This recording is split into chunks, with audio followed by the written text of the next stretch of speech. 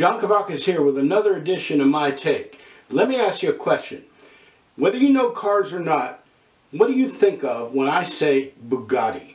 Most people think of large cars, high quality, fast, uh, unique, exclusive. Uh, those who are in the know know long hood, big wheels, just fantastic, very limited production cars made by an Italian guy in the late 20s and 30s. Well, but for those of you that are really in the know, what do you think of when I say Bugatti Type 57 SC Atlantic? Now you're thinking of an iconic model. And it certainly was that, one of the most iconic models to come out of the 20th century, maybe ever. Designed by Ettore son, Jean. Um, they only made four of them between 1936 and 1938. The Type 57 SC was a Type 57 that was lowered came with a supercharger. It was one of the powerful cars uh, ever made in the 30s. Ralph Lauren had one, maybe two, I think. And uh, so there's a picture of him there. You can see what his car looked like. There are only four created, and there are only three known left. So a lot of models have been made of the Bugatti Type 57 SC. A lot of models have been made of Bugattis. A lot made in all scales. They have 118th, 124th, 143rd, 164th, one twelfth, one eighth, and they're all over the place because it's such a such a beautiful model. But Auto Art has come up with something totally new and very, very special. Now they start by making the interior out of die cast and uh, it, I'm going to show you something that's really going to surprise you. Uh, but there's this new process called injection ABS polymer, an, injected process, uh, and the this new polymer allows for uh, thinner body panels, uh, smoother finish to the body panels, which means when the paint goes on, it's going to be more lustrous, even deeper, uh, thinner details, and a far sharper, more crisp molding.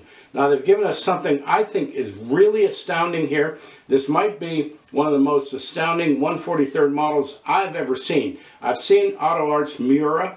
I've seen a couple of their Lamborghinis. Uh, I've seen the Kyosho Ferraris, and you know, and they're done really well. But this is something special.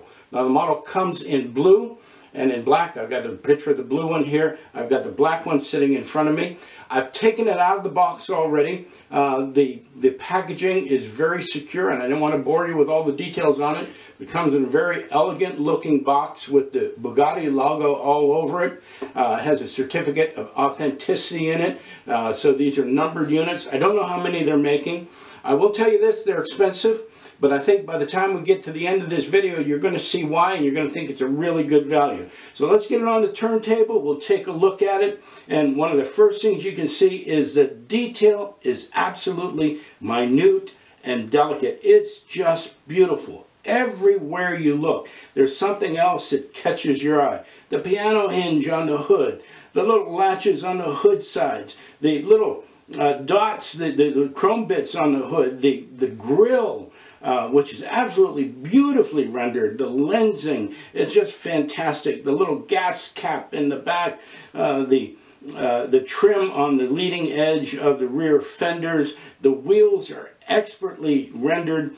Uh, even the window surrounds are really well done. They're photo etched, but they look really fantastic. They're done to scale. Uh, the surround on the windshield is extremely delicate, and the windshield wipers are just fantastic. So it's a beautiful model. And I'll tell you something, uh, as far as 143rd goes, it would be one of the best just sitting here the way it is.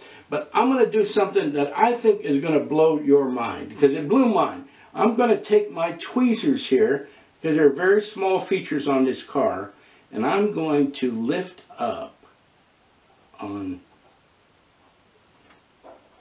the hood. Oh yeah. There it is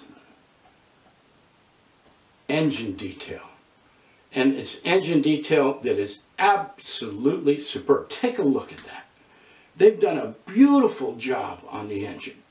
And again, uh, now, if we just stop there, the model would be well worth the money because this engine is a work of art. If you take a look underneath, the model sits on a mirrored plinth. And so you take a look underneath, there's chassis detail under there, uh, unprecedented chassis detail. I'm going to show you some close-ups of some of the other detail on this because you really get, want to be able to linger over it and take a look at it. The doors open up.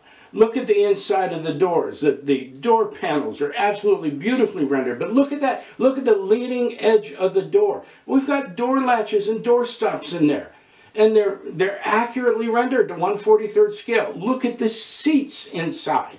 They look like 1-1 seats. The controls, the steering wheel, uh, all of the all of the material right along the dash and everything is just absolutely beautiful. And both doors open up.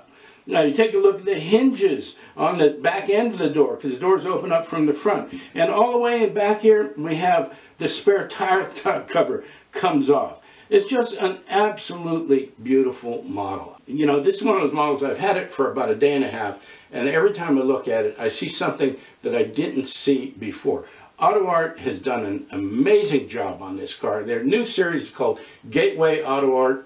Uh, I think they're trying to tell us it's a gateway to a, a, new level of detail in 143rd, and it's certainly beautiful. I got mine from Mint Models, mintmodels.com. I don't know how many they're making, but if you want one, I think you got to move quick on it because they're bound to be limited.